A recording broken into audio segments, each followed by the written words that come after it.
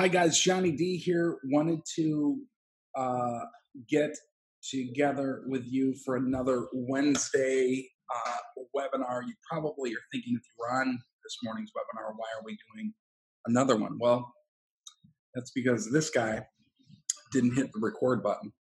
So, um, a bit of a technical challenge there. Not a big deal because I don't mind actually going through this uh, again. And what I wanted to impress upon you guys is the importance of um, chemicals in the brain and how you sell. And that's really the big message today. As all of you know, every uh, Wednesday we talk about something, uh, a skill set, building it with uh, the real estate agent and broker. And today is no different. We're going to be talking about cortisol and the real estate agent. That's right, I said cortisol uh, and the real estate agent. So um, I know a little bit of a weird uh, topic there, uh, but I think you guys will get the gist when I get done. Let me go ahead and share my screen so you guys have everything. These are my notes that I've been taking. So uh, kind of creating this now so you guys have this as well. This stuff, it really pumps me up because I know that this is the exact thing that makes people a better salesperson. As real estate agents and brokers, we are all uh, salespeople, and we need to know how to sell. Sell, and the the idea of you know trickery and you know um, tricking someone into the sale has nothing to do with a good salesperson. It's short lived, if anything. Uh, but what does have everything to do with a really good salesperson is chemistry in the brain. Let me explain. So, cortisol and the real estate agent, here we go. Uh, pretty much any experienced sales professional would agree that psychology plays an important role in the process of making a deal. Customers respond to certain triggers, methods, and behaviors. If you want to increase your revenue as an agent and broker, you shouldn't ignore this fact. While you don't have to stock your sales team with a bunch of psych majors, you should keep the following concepts in mind when you're making changes to improve sales performance. Now, watch this. Neuroscience conquers a world full of gimmicks. What do I mean by that? Think about the last time you uh, had a slick sales gimmick personally influence you. More than likely, you've never really been influenced by this uh, sales gimmick. This kind of marketing really doesn't work. Good science is actually what help make, helps make the sale. Let me explain what I mean. The decision to make a purchase is a complex process. It involves chemical and hormonal reactions that influence three, how many? Three uh, different areas of the brain. A person's instincts come from the so called reptilian part of the basal ganglia. This section is concerned with safety and survival. See, I got that highlighted there, so check that out. The middle brain processes are emotional and involve memory, and rational thought occurs in the new brain, which processes language and facts. A sales pitch has to appeal to all three different levels of the brain while creating the proper chemical conditions to connect with your customer. If you were on our webinar last week, you know that uh, we just focused on trust and rapport and building that. Once you have that, then you can kind of go into this chemical type situation. Look at what I have highlighted here safety and survival, emotional, and language and facts. Those are the things that once you have trust and rapport, you need to be focusing on as a real estate agent and broker to get the sale.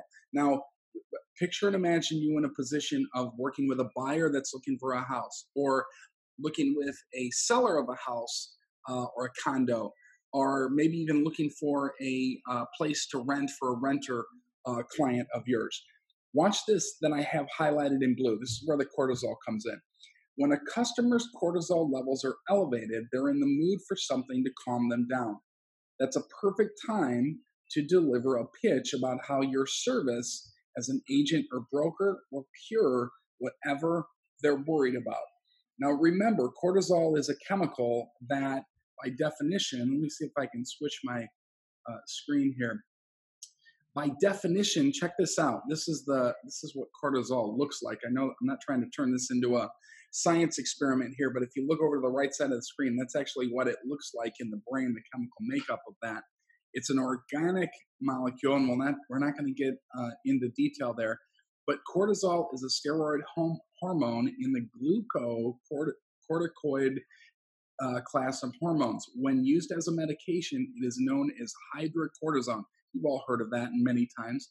It's produced in many animals, mainly in the zona fasciculata and the adrenal cortex in the adrenal gland. It's produced in other tissues in lower quantities. Now, watch this. Um, it, it is released with a diurnal cycle, and its release is increased in response to stress and low blood glucose concentrate. What we're focused on is this stress right here. Either physical or biological, it's an organism's response to a stressor, such as an environmental condition.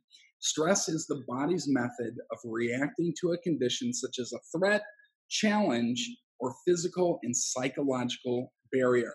Again, I'm not trying to turn this into a sales or a science uh, lesson here, but um, cortisol is the chemical that uh, gets released by the brain when stresses arise. Well, why does somebody sell a house? Why is somebody looking for a house? Why is somebody looking for a place to rent? Um, all of those uh, to the average person add stress to their life, and a little bit of cortisol is released because of that. The more you talk about that situation, the more cortisol will be released. Now, this isn't a, a chronic situation where it's released over a month. If you start talking about the person's situation that is causing their problem, instantly cortisol will, is going to be released if there's stress involved in that moment. Now, I'm certainly not advocating that you, as an agent or broker, uh, you know, purposely harm somebody by bringing up um, things that cause stress. But uh, at the same time, I am asking you to um, acknowledge and highlight that problem that that seller, the buyer, or the renter is going to have so that you can get this cortisol going a little bit and, and have this chemical released in the brain. Um, really quick here, and then I'll get off this science uh, lesson. cortisol and the stress response have been known uh, deleterious effects on the immune system. That can't be good, by the way. Um, high levels of perceived stress and increases in cortisol have been found to lengthen the wound healing time in healthy male adults. So, as there's more stress, there is more cortisol um, released. So, when a customer's cortisol levels are elevated, they're in the perfect mood for something to calm them down. That's a perfect time to deliver a pitch about what your service is as an agent or broker and what and how your service is going to cure whatever they're worried about. So you in your sales meeting, in your listing meeting, um, in your meeting with a buyer looking for a house or a place to rent, you want to elevate that cortisol release just a little bit so uh, that they're in the perfect position to be able to um, uh, accept something that's going to calm them down. In the sales process, we call this framing, preparing the environment so that when you offer your um, product or service, in this case, service, the client or customer is in a better position to handle that. Let me give you another example of this. Um, if I was selling hamburgers and our customer that was buying the hamburgers wasn't hungry, it probably wouldn't matter, um, you know, how good our hamburger was, the quality behind it, you know, maybe we uh, have all organic in our hamburger. It probably wouldn't matter if our client or customer is not hungry. But let me ask you a question. If we took our client and customer and increased their hunger for food in general, maybe even specifically to the hamburger, would it really matter the quality of our hamburger or would they just accept it because they're hungry? They'll eat anything. You've probably been in this position in your life uh, in, in the past. Think about that when you're framing someone to deliver your product or service, in this case, your service as a real estate agent. Um, you want to get them hungry for your hamburger. You want to get the cortisol levels released in their brain so that they're in the position, they're wanting something to calm them down. What's going to calm them down? It's going to be your service that you're delivering to that client. And it would go something like this. Let's say that Tom is in Northwest Indiana and he's looking to move to Florida with his family because he's taking another job.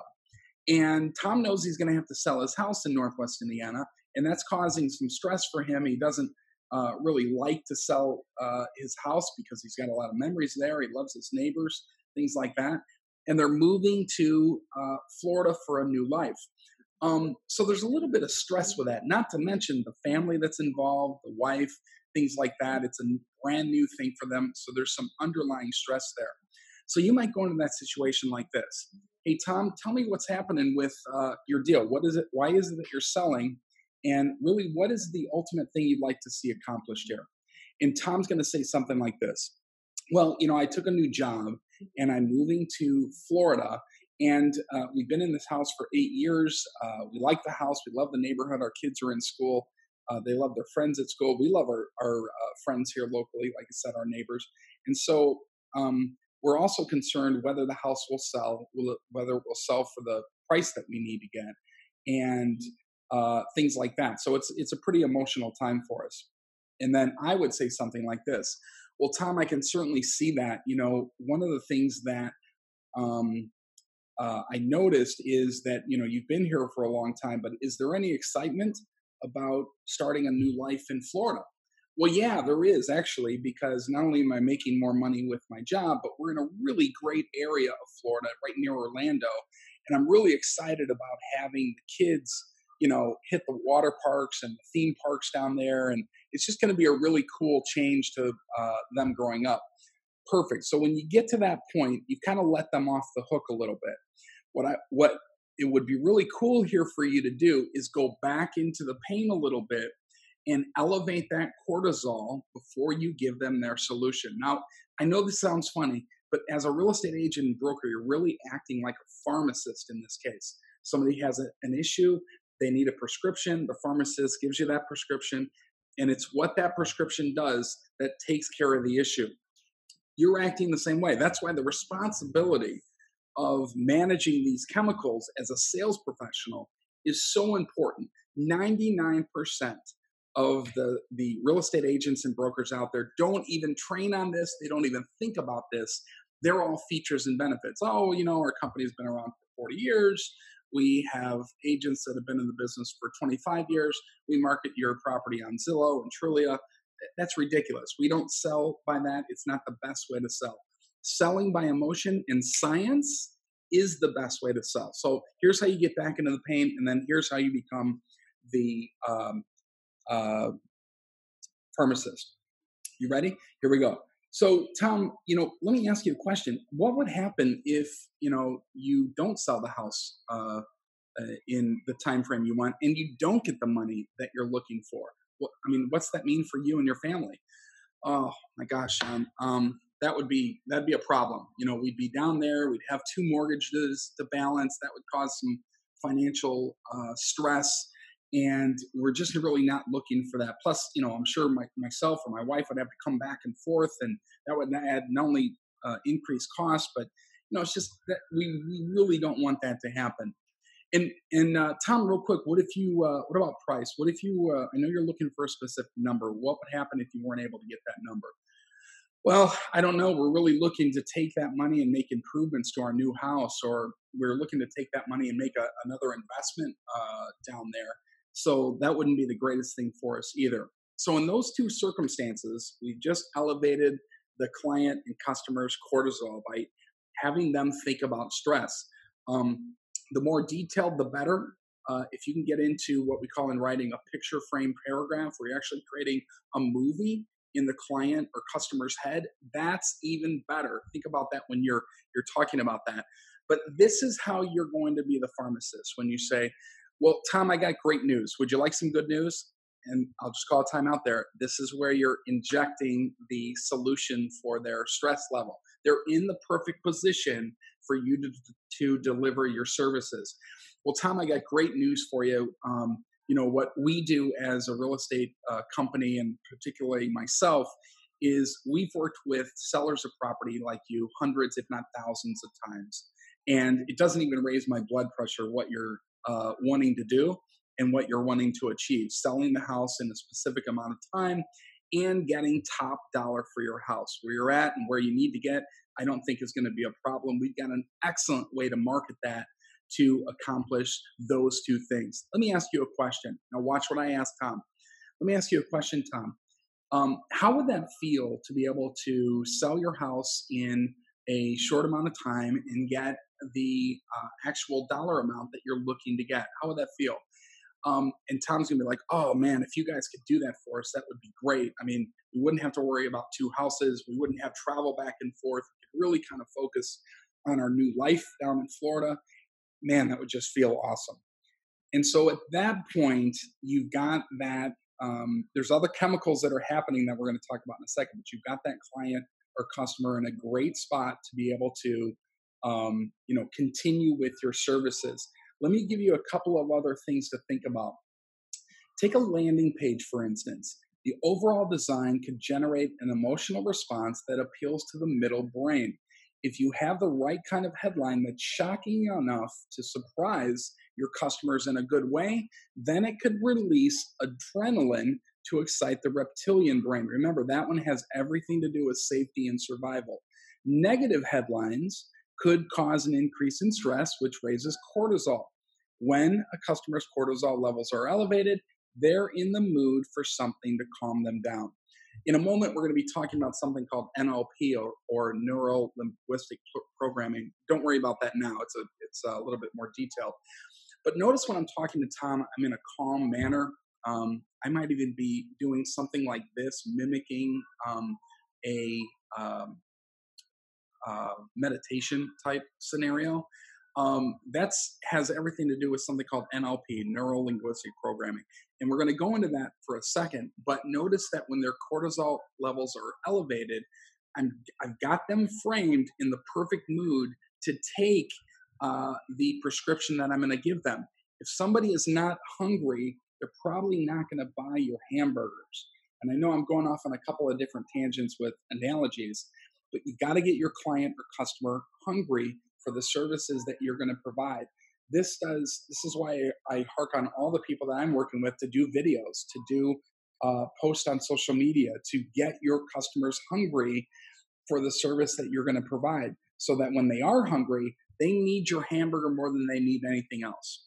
Okay, so uh, again, that's a perfect time to deliver a pitch about how your service as an agent or broker will cure whatever they're worried about. You simply need to know the right way to frame your pitches. So let's gear a pitch to your customers' brains. Let's go completely away from the real estate field as a real estate agent and broker and do something a little bit different here. Say, for example, instead of an agent broker, you're a company that sells special artesian breads to an e- uh, through an e-commerce site. These gluten and preservation-free loaves are attractive, attractive to customers uh, who become aware of the harmful chemicals and pesticides used in the production of mass market food. In this example, you should not be trying to sell them bread. You should instead be trying to sell them uh, an appealing, eco friendly, healthy lifestyle. Educated customers who are aware of the dangers inherent in products sold by regular retailers may be willing, watch this, to pay up to five times as much for your bread, provided they're convinced that they're buying a lifestyle. So if I was selling mattresses, which I'm not selling, but if I was selling mattresses, I wouldn't be selling the features and benefits of the mattress. I'd be selling them on the lifestyle of what it would be like to get the best night's sleep you ever had. What would your day be like? Um, you know, how much more relaxed would you be? Uh, how does that affect your family? In other words, I'm selling the lifestyle, not the features and benefits of the mattress. They can read that off a tag. The same thing with you as a real estate agent. You need to be selling the lifestyle of what it's like to be in the house that you're about to sell them. So, for instance, instead of saying, you know, this house is this much square feet and this many bathrooms and bedrooms and this type of thing, you need to be selling them on the fact can you imagine sitting in this family room and your La-Z-Boy where you sit back like this and you are watching your favorite show or your favorite movie with your family. How does that feel? Can you imagine that? Or can you imagine yourself, you know, out in the backyard uh, barbecuing and, and having friends and family over? That's what you need to be selling the lifestyle, not the features and benefits. Anybody can do that. And that's really what novice real estate agents and brokers do rather than do some of the things that we're talking about here. Why do we sell the lifestyle? Because it releases different chemicals in the brain. And when different chemicals are released, different actions are taken. Um, think about things, think about decisions that people make when they're in love. Like they make different decisions than they would make if they weren't uh, in love. Or think about when you know somebody's in danger, a family member or a good friend. You make different decisions immediately. Values change and priorities change. The same thing here with selling. Wholesalers can use this same psychological marketing trick to manage price points. By creating a sense of urgency, wholesale companies can make buyer to buyer buyers, B2B, uh, buyers feel like they need to take action now so they're not left behind. It's the same concept as using a shocking headline to manipulate cortisol and adrenaline levels on a much larger scale. Again, as a real estate agent and broker, how does this apply to your business? Are you using this in sales? Are you using this in getting your customers hungry for your hamburger?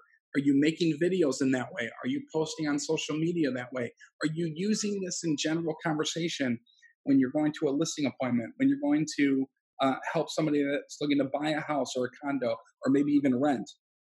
Best of all, there's a way to program your customers and clients to make uh, the best decisions for everything involved. And this is where it comes into changing someone's mental state.